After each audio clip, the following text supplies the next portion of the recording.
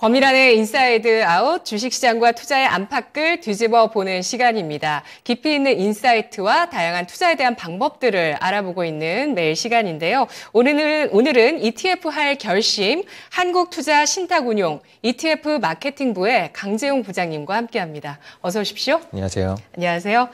네, 묶음 투자를 기계적으로 꾸준하게 해 나가시는 것, 이것도 상당히 중요한 투자의 한 방법이 될 수 있겠어요. 네. 저도 펀드를 계속 넣고 있는데 ETF 할 결심도 이 시간을 통해서 해보도록 하겠습니다. 네. 네. 아, 글로벌 자금 동향들을 좀 확인하실 수가 있는 시간도 되실 수 있는데요. 먼저 주간 ETF 시장 동향부터 체크를 해볼까요? 네. 어, 일단 금주 화요일까지 일주일간의 시장 동향을 짤막하게 말씀을 좀 드려볼게요. 일단 미국 3대 지수 모두 일주일 동안 2% 초중반대로 상승을 하면서 긍정적인 흐름을 지속을 했습니다. 금주 초반에 소폭 하락하긴 했는데 이게 추세를 흔들 만한 약세는 아니었고 또 최근에 은행 관련 이슈들이 나왔었는데 어, 이제 미국 정부의 은행 관련 신속한 대응이 있었고요. 또 유동성 공급도 발표를 하면서 이 같은 이슈가 전체적인 어떤 시스템 리스크로 번지지는 않, 을 것이다라는 기대감이 투자자들 사이에서 좀 확산이 된 걸로 보입니다. 그래서 결과적으로는 위험 자산 선호 현상으로도 연결된 모습이었고요. 네.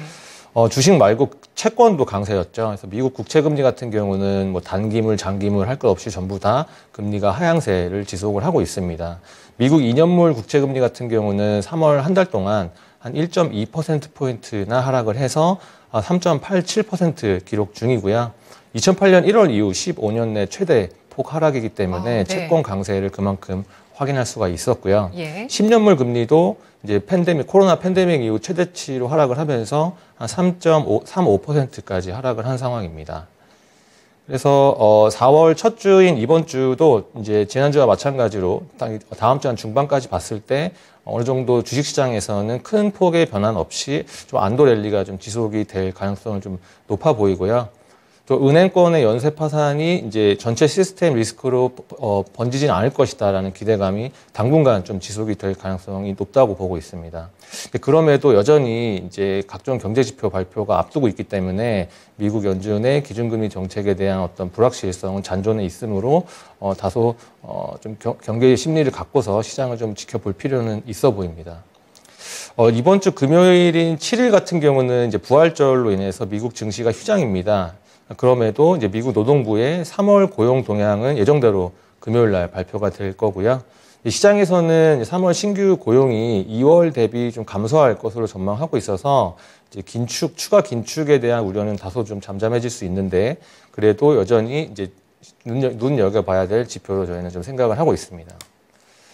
어, 또 한편 이제 4월부터 본격적으로 1분기 어닝 시즌이 개막이 됩니다. 네. 그래서 이번 주 금요일 삼성전자를 필두로 이제 미국 쪽에서도 지속적으로 1분기 실적이 나올 텐데요. 어, 당분간 그래서 이제 매크로 같은 어떤 거시경제에서 이제 마이크로적인 어떤 기업들의 실적으로 투자자들의 관심이 이동할 가능성이 굉장히 높다고 보고 있습니다. 특히나 이제 삼성전자 같은 경우는 금요일 날 잠정 실적 발표를 앞두고 있는데 어, 마이크론이 최근에 발표를 하면서 이제 업황에 대한 turnaround 기대감이 좀 커진 상황이거든요. 그래서 삼성전자 같은 경우도 만약에 어, 어떤 재고에 대한 감소나 앞으로 어, 또 투자에 대한 어, 내용들을 커멘트 형식으로 발표를 했을 때 시장에 안동함을 준다면 반도체 업종도 다시 한번 좀 볼 필요가 있지 않느냐라는 좀 어, 생각을 하고 있고요.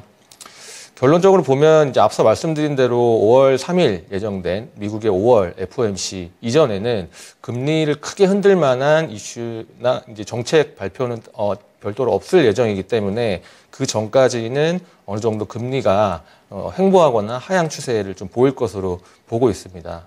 반대로 주식 같은 경우는 이제 1분기 실적 발표가 예정이 되어 있는데 이제 어 4월에 있는 실적 발표가 예정이 되어 있는데 1분기 동안 사실 주식시장이 좀 많이 상승을 해서 valuation 부담이 좀 있었거든요. 그래서 이러한 valuation 부담을 실제로 발표되는 실적과 어, 비교해 봤을 때그 네. 그 괴리가 크지 않다면 네, 큰 조정은 없겠지만 그 괴리가 어느 정도 있는 종목들은 어, 다소 조정이 있는 모습도 보여줄 가능성이 있습니다. 네, 그동안 뭐 금리 인상에 대한 우려 때문에 사실 채권 수익률이 쭉 올라가는 움직임을 보였었는데 이게 좀 peak out 되는 조짐들이 나타났고요. 네. 이러면서 채권에 대한 선호도가 높아지고 있는 현재 국면, 어, 여기에서 이제 위험 자산에 대한 또 선호 심리, 안도 심리 이런 것들은 계속되는 가운데 실적에 따라서 주식의 value를 좀 체크하는 기간이 될 것 같다라고 보셨는데요.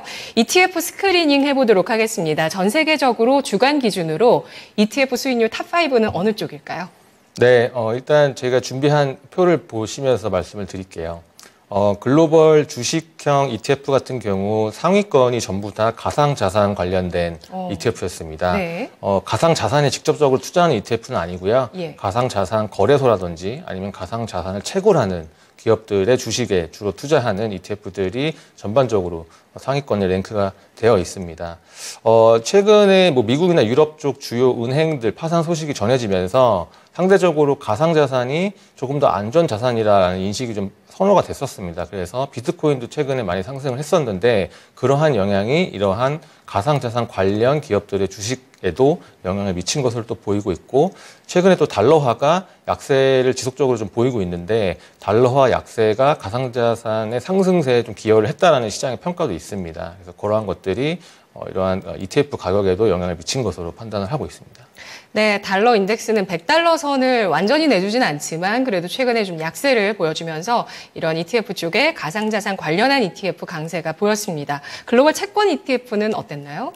네, 채권 같은 경우는 전반적으로 회사채 위주의 강세가 돋보였습니다. 그래서 어, high, 미국의 투기 등급 회사채로 구성된 high yield ETF들이 전반적으로 상위권에 전부 대부분 랭크가 되어 있고요.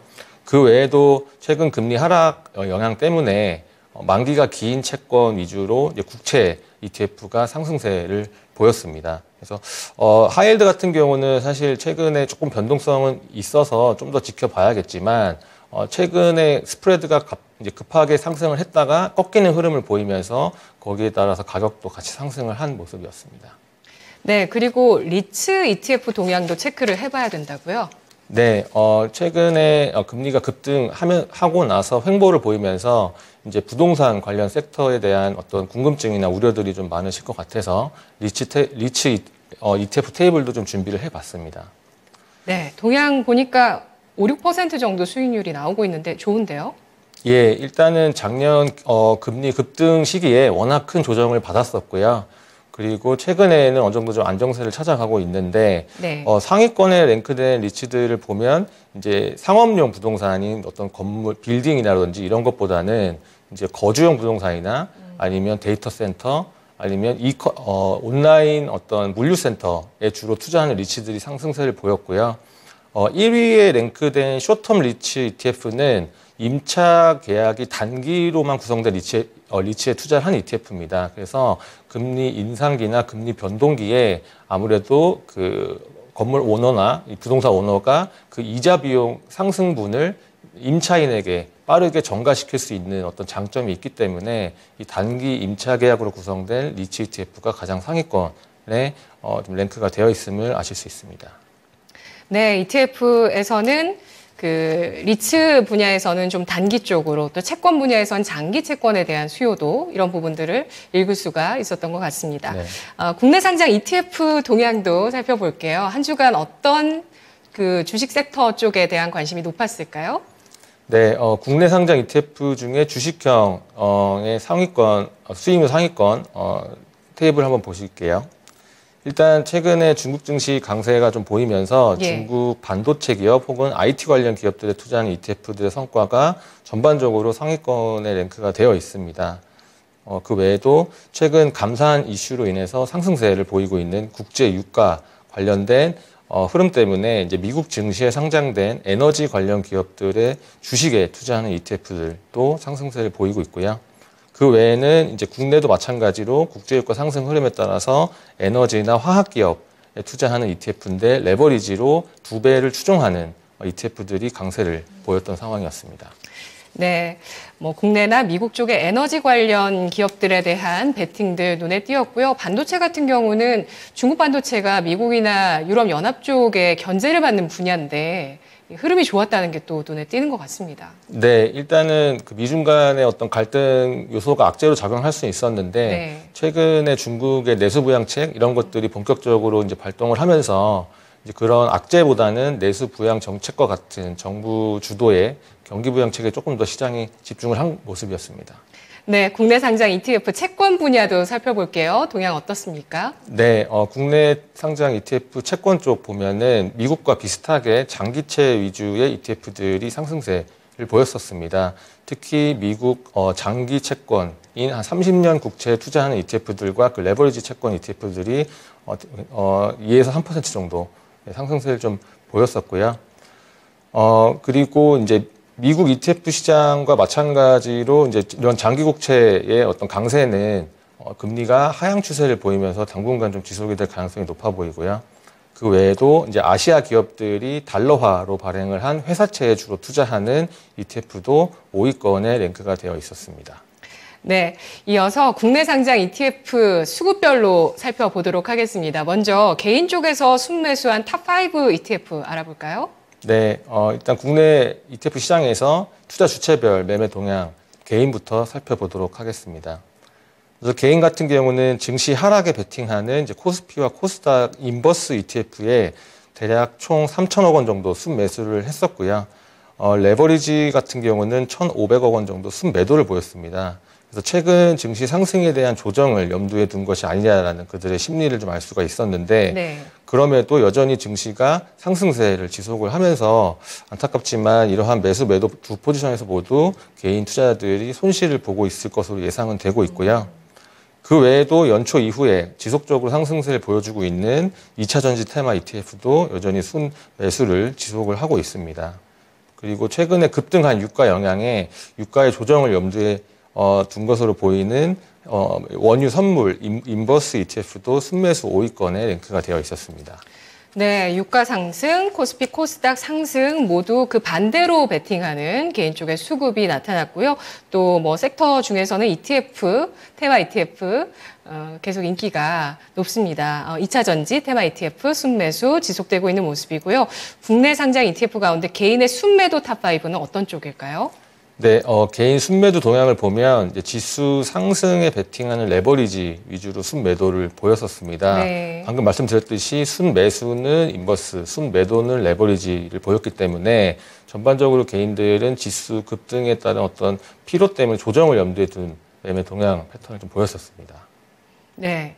자, 그렇다면 어, 외국인 쪽의 동향은 어떨까요?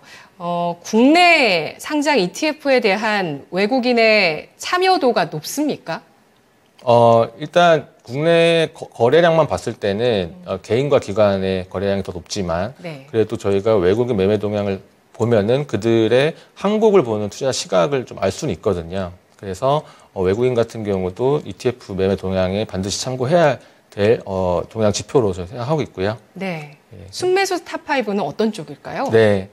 어, 일단 외국인 같은 경우는 최근 한, 한두 달 정도 지속적인 같은 흐름을 보였는데 그 MSCI 코리아 지수라는 지수를 추종하는 ETF에 대략 한 어, 2천억 원 정도 순매수를 보였었습니다. 네. 이 MSCI는 굉장히 어, 해외에서도 많이 알려진 지수 산출 업체인데요. 이 산출 업체가 어, 한국 상장된 주식 한 100여 개 정도 중대형주 위주로 구성한 지수를 추종한 ETF였는데 어, 이러한 어, 지수 산출 업체에 대한 외국인들의 신뢰도를 다시 한번 좀 확인할 수 있었고 두 번째는 최근에 어, 원달러 환율이 1,300원대, 1,300원대를 이제 유지를 하면서 외국인 입장에서 원화로 투자하는 환경이 굉장히 우호적인 환경이 됐습니다. 그러다 보니까 이런 MSCI라는 지수 산출 업체에 대한 신뢰감, 그리고 현재 우호적인 환율 레벨이 이 같은 MSCI 코리아 ETF에 대한 외국인 순매수로 연결이 된 것이 아니냐 이렇게 좀 판단을 하고 있고요. 그 외에는 이제 지난주 마이크론 실적 발표 이후에 어, 업황 turnaround 기대감이 좀 강해지고 있는 반도체 관련 ETF에도 외국인들이 순매수를 좀 보이는 상황이었습니다. 네, 어, 크게는 반도체 그리고 MSCI 코리아 어, 지수 추종 ETF에 대한 그 매수 규모가 컸습니다. 특히 뭐 말씀하신 그 MSCI 코리아 지수 추종 ETF에 대한 매수가 절대적이었다고 볼 수 있을 것 같고요. 어, 원달러 환율의 레벨이 현재 1,310원대 후반에서 전개가 되고 있는데 외국인 수급에 있어서 긍정적인 여건이라고 합니다. 어, 국내 상장 ETF 가운데 외국인이 순매도한 top5는 어떤 쪽일까요? 네, 어, 외국인 순매도 같은 경우는 어, 이제 코스피 200 지수 추종하는 어, ETF에 대략 한 260억 원 정도 순매도를 보였는데 사실 굉장히 유의미한 순매도 규모는 아닙니다만 네. 어, 좀 한 가지 특이한 부분은 MSCI 코리아 지수 추종 ETF는 순매수를 대, 대, 어, 대거 진행했고 반대로 코스피 200 지수는 순매도를 소폭이지만 진행을 하면서 같은 한국 증시에 투자하는 ETF인데 추종 지수가 좀 다른 어, ETF들의 좀 다른 매매 동향을 보였습니다. 그래서 네. 어, 어떤 코스피 200 지수에서 MSCI 코리아 지수로 추종 지수를 교체하는 어, 움직임을 대략적으로 좀 예상해 볼 수 있었습니다. 어, 이건 왜 그런 걸까요? 어, 일단은 저희가 추정하는 바로는 MSCI, MSCI 지수라는 이 지수 자체를 글로벌 펀드들이나 기관 투자자들이 굉장히 벤치마크로 많이 활용을 합니다. 네. 예, 그러다 보니까 이제 국내 증시에 투자를 할 때도 어, 코스피 200도 물론 우량한 200개 종목으로 구성이 되어 있지만 조금 더 어, 중대형 사이즈의 어, 우량한 어떤 그 지수로 그 종목들로 구성된 지수가 MSCI 코리아 지수거든요. 음. 예, 그러다 보니까 이제 그 지수 선호도에서 어, 좀 MSCI를 좀 더 선호하는 모습을 네. 보인 것 같습니다. 코스피 200보다 MSCI를 좀 더 신뢰한다. 이렇게 예, 예. 봐야 될 것 같습니다. 예, 그렇지만 이제 그렇다고 코스피 200의 순매도가 그렇게 크진 않기 크진 때문에 예. 예 어, 코스피 200을 비선호하는 건 아니고요. MSCI 코리아를 조금 더 선호한다 이렇게 이해하시면 좋을 것 같습니다. 알겠습니다. 자, 그러면 이제 투자를 결심해 볼 ETF를 선별해 볼 텐데요. 어, 먼저 이 ETF를 선별하신 이유부터 설명을 해 주시죠. 배경 알아볼까요?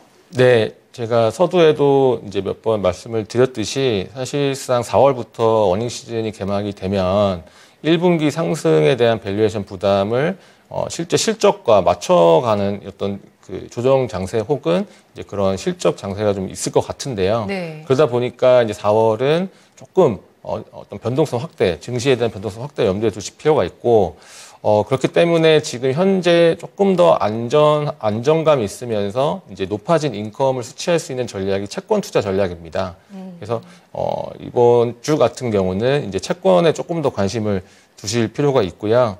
그 인플레이션 우려가 이제 미국에서 다소 좀 해소가 되는 국면이고 그리고 이제 고용 지표들도 조금씩 둔화가 되면서 미국 연준의 긴축, 추가 긴축 가능성도 좀 완화가 되는 상황이기 때문에 아무래도 채권에 대한 시각이 앞으로 조금 더 우호적으로 바뀔 가능성을 저희는 좀 높게 보고 있고요.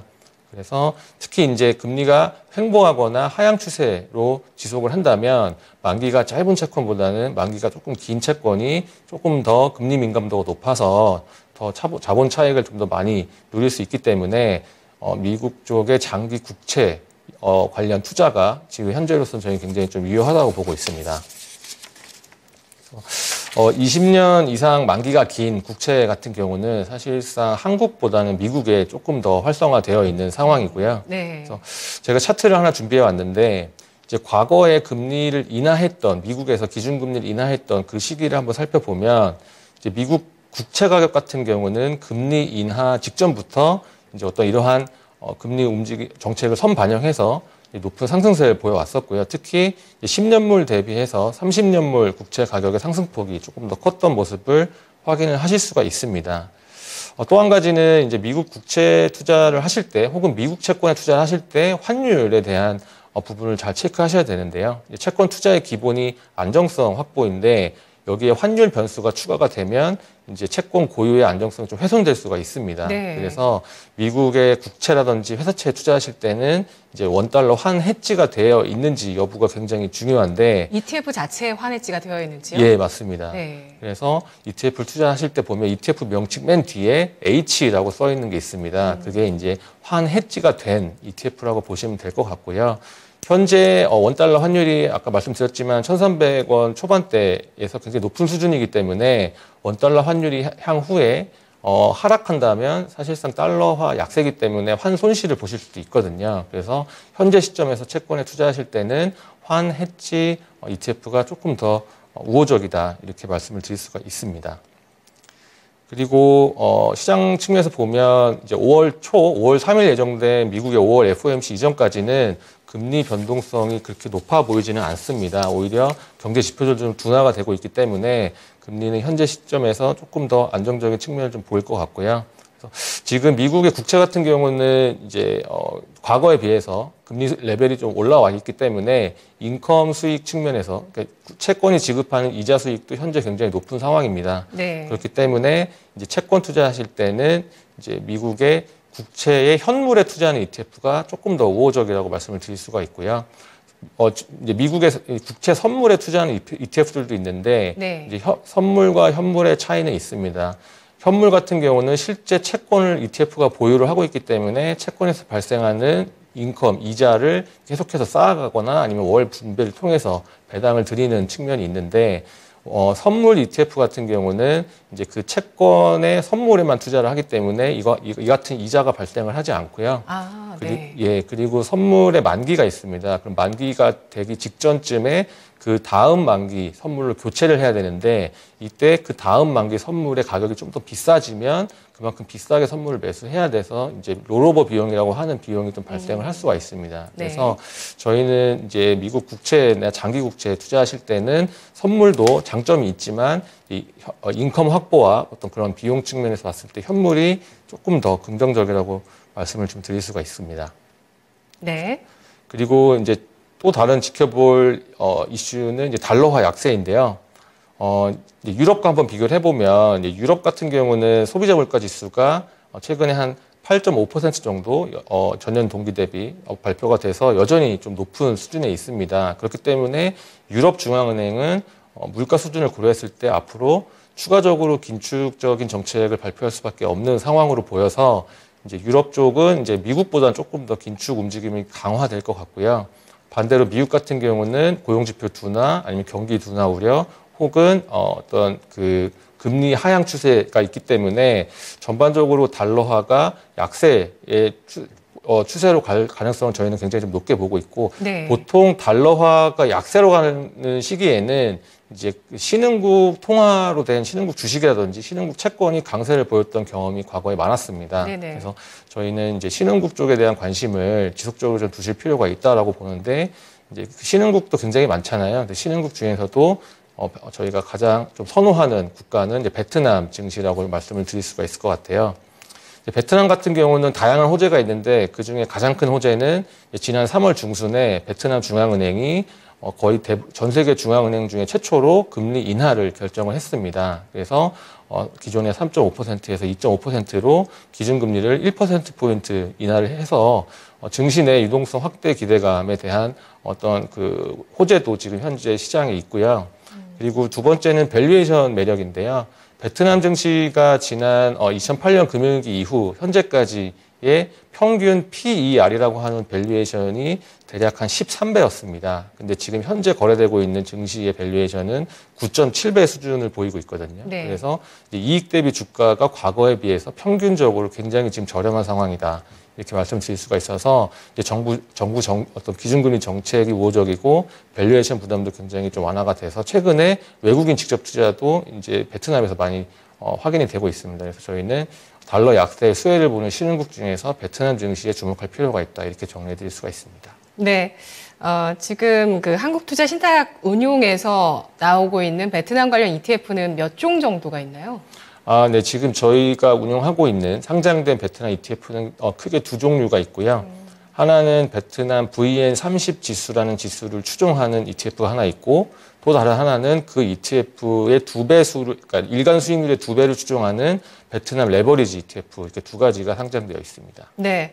어, 베트남 증시는 벌써 유동성 장세네요. 금리를 인하를 했어요. 3월에. 네, 인하한 지 사실 그 얼마 안 됐기 때문에 예. 당장의 유동성 공급은 이제 앞으로 확인이 되겠지만 주식이 그, 더 빠르게 반응하니까요. 예, 예, 그래서 그 자체가 시장의 호재로 작용을 이미 했고요. 음, 네. 그래서 최근에 이제 6주의 최고치를 기록할 만큼 베트남 증시가 다른 신흥국 증시 대비해서 상승세를 보이고 있습니다. 네, 그리고 또 이 신흥국 가운데서 베트남의 성장률에 대해서도 분석하는 내용은 다음 시간에 좀 더 들어보도록 하고요. 네. 예, 그리고 여기에 valuation 메리트까지 현재 보유했다는 부분까지 체크를 해봤습니다. 마지막으로 짧게 아까 앞서서 그 미국 국채, 장기 국채 ETF 말씀해 주셨는데요. 여기에서 그 채권 이자 배당을 받으면 이게 ETF에 어떻게 작용이 되나요? 아, 네. 그 저희 어, 아까 말씀드렸던 미국 국채 투자하는 장기 국채 투자하는 ETF 같은 경우 현물에 투자를 한다면 네. 그 채권에서 발생하는 이자가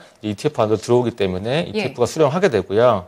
그 ETF가 이제 어, 수령받은 이자를 재투자하는 경우도 있지만 채권에 그렇지 않고 매월 어, 배당 형식으로 분배해드리는 그런 음. 월 배당 ETF도 있습니다. 그래서 최근에 보면 이제 연금 계좌나 아니면 은퇴 후 투자하시는 분들이 이 월 배당에 대한 수요가 많은 케이스를 확인할 수가 있습니다. 네. 그래서 이제 채권 투자하실 때도 이 같은 채권의 이자가 매월 이제 분배가 되는 ETF인지 아닌지도 확인해 보실 필요가 있을 것 같습니다. 네, 알겠습니다. 권미란의 인사이드 아웃 오늘 ETF 할 결심이었습니다. 고맙습니다, 부장님. 감사합니다. 잘 들었습니다.